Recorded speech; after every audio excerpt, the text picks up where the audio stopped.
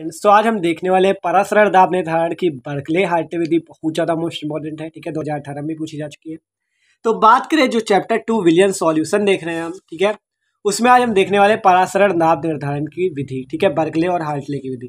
बहुत इंपॉर्टेंट है, इसे एकदम आसानी से चित्र से हम समझेंगे कि कैसे होता है इसका पराशरण दाब का निर्धारण, ठीक है? कैसे पिस्टन द्वारा दाब लगाया जाता है जिससे पराशरण दाब होता है। एक एक पॉइंट को बहुत बारीकी से समझेंगे, ठीक है? तो प्लीज़ वीडियो को स्किप ना कीजिएगा, पूरा वीडियो लास्ट तक देखिएगा, जिससे कि आपको समझ में आ जाए अच्छे से। तो देखो वैज्ञानिक थे बर्कले और हार्टले। तो देखो बात हो रही बर्कले और हार्टले द्वारा प्रस्तुत विधि एक अप्रत्यक्ष विधि है। किसकी अप्रत्यक्ष विधि है? परसरण दाब निर्धारण की ठीक है? तो बर्कले और हार्टले विधि द्वारा जो प्रस्तुत विधि एक अप्रत्यक्ष विधि है पर, मतलब परसरण दाब निर्धारण की अप्रत्यक्ष विधि है। इस विधि में अर्धपारगम झिल्ली द्वारा विलाक से पृथक विलियन पर बाह्य दाब लगाया जाता है। अभी आपको चित्र से बहुत अच्छे से समझाएँगे ठीक है? अभी पढ़ लो केवल इस विधि में अर्धपारगम झिल्ली द्वारा विलायक से पृथक विलियन पर बाह्य दाब लगाया जाता है। और विलायक के अल्पारगम झिल्ली में होकर विलियन में प्रवेश को रोकने के लिए विलियन पर लगाया गया आवश्यक दाब ज्ञात किया जाता है। तो अभी बात ये हुई। अब आपको समझाते हैं अच्छे से। तो देखो, चित्र को समझने से पहले आप एक चीज़ जान लो। क्या चीज़ जान लेंगे आप? कि जो आपका, अगर बात करें हम कि जो विलायक होता है आपका, अर्धपारगम झिल्ली की आपने बात देखी होगी। अगर आपने परसरण वाला वीडियो देखा तो आपको पता होगा अर्धपारगम झिल्ली क्या होती है। अर्धपारगम झिल्ली, वो झिल्ली होती है जिससे केवल विलायक के अणु ही बाहर निकल सकते हैं, ठीक है? जब ये बात जानोगे तभी ये चित्र समझ में आएगा। विलायक के अड़ू ही इससे बाहर निकल सकते हैं, विलय के अणु नहीं, क्योंकि विलय के अणुओं को जाने नहीं देता, केवल विलायक के अड़ुओं को जाने देता है। तो अब आप बात ये जान चुके हैं, ठीक है? तो अब देखते हैं होता क्या इस क्षेत्र में। इस क्षेत्र में आप ये जो देख रहे हो, ये पूरा डिब्बा जैसे जो बना ये एक स्टील का पात्र होता है। क्या होता है? स्टील का पात्र होता है, ठीक है? अब यहाँ पे क्या होता है? यहाँ पे जो आपका ये आपका ऑरेंज वाला भाग दिख रहा है, ये होती है आपकी सरंद्र नली, इसे कहते हैं सरन नली, ठीक है? अब इस सरन नली के जो छिद्र होते हैं यहाँ पे, उस पर क्या लगी होती? एक अर्धपारगम झिल्ली लगी होती। क्या लगी होती? अर्धपारगम झिल्ली, जिससे आपको पता है केवल विलायक केड़ू गमन कर सकते हैं, विलायक केड़ू ही आर पार जा सकते हैं, विलय केड़ू बाहर नहीं जा सकते, ठीक है?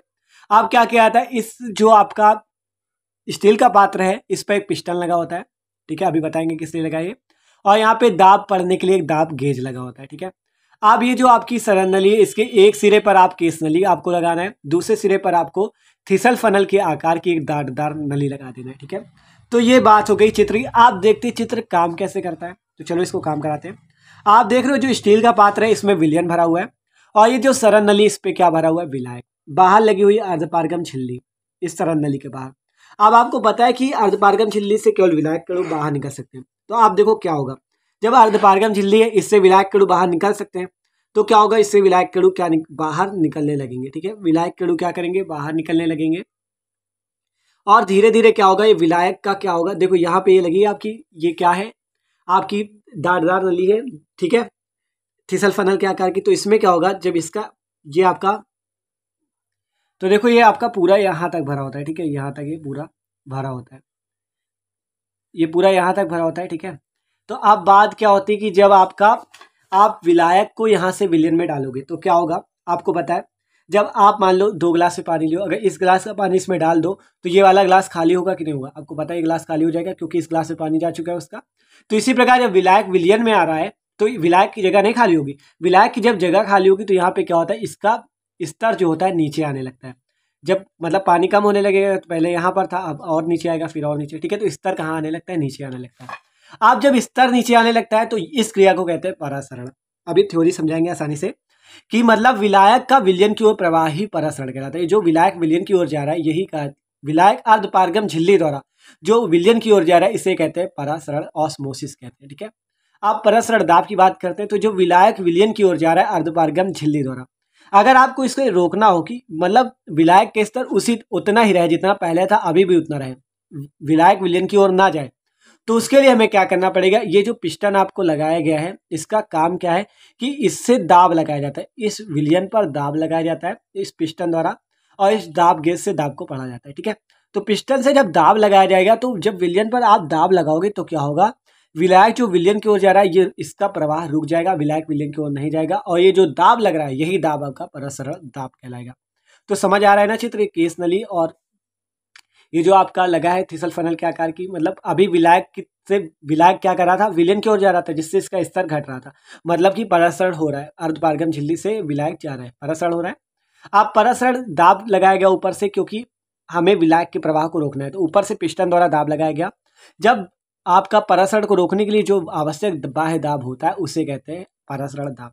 और इसे दाब गेज से पढ़ लेते हैं बर्कले हार्टले विधि द्वारा। अब इसकी थ्योरी पढ़ते हैं, जिससे आपको आसानी से समझ में तो देखो, कहा गया बर्कले और हार्टले द्वारा प्रस्तुत विधि एक अप्रत्यक्ष विधि है।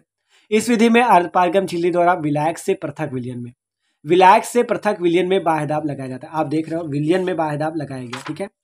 आप कह रहे हैं, और विलायक के अर्धपारगम झिल्ली में होकर विलियन में प्रवेश को विलायक अर्धपारगम झिल्ली से विलियन में जा रहा है, आप देख रहे हो, ठीक है? तो विलायक विल अर्धपारगम झिल्ली से होकर विलियन में प्रवेश को रोकने के लिए जो मतलब विलायक विलियन की ओर जा रहा है, अगर आपको उससे रोकना है तो इस पिस्टन द्वारा दाब लगाओगे, यही दाब आपका परसरण दाब कहलाएगा। आवश्यक बाह्यदाब जो होता है, रोकने के लिए जो विलियन पर लगाया गया आवश्यक बाह्यदाब होता है, वो क्या किया जाता है? परासरण को रोकने के लिए विलियन पर लगाया गया आवश्यक अतिरिक्त दाब विलियम का परासरण दाब कहलाता है। तो यही परासरण दाब इस बर्कले हार्टले विधि द्वारा ज्ञात किया जाता है, इस दाब गेज के द्वारा। और पढ़ते थोड़ी जिससे आसानी समझ में आए। इस उपकरण में क्या होता है? एक सरल नली लगी होती है, आपको पता है, सरल नली लगी हुई है, अंदर ये ऑरेंज वाली। जिसके छिद्रों में कापर फेरोसाइनाइड की आपको बताया गया था वीडियो में परसरण वाले में कि सबसे ज़्यादा अच्छी झिल्ली, जो अर्धपारगम झिल्ली है, वो है कापर फेरोसाइनाइड की, ठीक है? सबसे ज़्यादा अच्छी होती है। तो इसलिए कापर फेरोसाइनाइड की अर्धपारगम झिल्ली जमी रहती है, जो बाह्य जैकेट का कार्य करती है, मान लो कवच का कार्य करती है, ठीक है? अब स्टील के पात्र में एक पिस्टन पी लगा होता है, यहाँ पे पिस्टन पी लगा है, ठीक है? पी पिस्टन लगा हुआ है। और दाब गेज लगा होता है, दाब गेज देख रहे हो, लगा है, ठीक है? अब क्या हुआ? सरल नली के एक सिरे पर थिसल फनल की आकृति की एक डाटदार नली डाटदार नली हमने लगा दी। आप कह रहा है, थिसल फनल की आकृति की एक डाटदार नली और दूसरे सिरे पर एक केस नली। कैपलरी ट्यूब लगी हुई रहती है, ठीक है? तो कैपलरी ट्यूब भी हमने लगा दी है। आप कह रहा है, स्टील के पात्र में विलियन और सरल नली में शुद्ध विलायक भरा होता है। स्टील के पात्र में विलियन और सरल नली में विलायक भरा है, ठीक है? कोई बात नहीं। परासरण के कारण विलायक जैसे ही अर्धपारगम झिल्ली में होकर विलियन में प्रवेश करता है। मतलब जहाँ ही परासरण के कारण विलायक विलियन में प्रवेश करता है तो आप देखो क्या होगा। तो मेन पॉइंट अभी है कि केस नली में विलायक कतल नीचे, अभी बताया आपको कि केस नली में क्या होता है, विलायक कतल नीचे करता जाता है। केस नली में विलायक के तल को अपनी प्रारंभिक स्थिति में रखने के लिए, अर्थात विलायक का अर्धपारगम झिल्ली में होकर विलियन में प्रवेश रोकने के लिए मतलब कि जो स्तर घट जाता है, जो विलायक विलियन की ओर जा रहा है, इसका प्रवाह रोकने के लिए क्या किया जाता है? ठीक है, प्रवाह रोकने के लिए पिस्टन पी द्वारा विलियन पर लगाया, दाब लगाया जाता है। परसरण को रोकने के लिए, जो क्रिया हो रही परसरण की, इसको रोकने के लिए विलियन पर लगाया गया आवश्यक दाब विलियन का परसरण दाब कहलाता है, जिसे दाब गेज से पढ़ लेते हैं। यही है भाई बर्कले और हार्डले की विधि। इस दाब गेज से पढ़ लिया जाता है इस परसरण को कि कितना परसरण दाब लग रहा है, ठीक है? तो देख सकते हो आप कितना ज़्यादा आसान टॉपिक था और आपको एकदम आसानी से समझ में आया होगा। तो इतनी तो मेरी गारंटी, ठीक है? तो भाई, अगर वीडियो अच्छा लगा तो प्लीज़ वीडियो को लाइक ज़रूर करके जाइएगा, ठीक है? भूलिएगा नहीं। Okay thanks for watching this video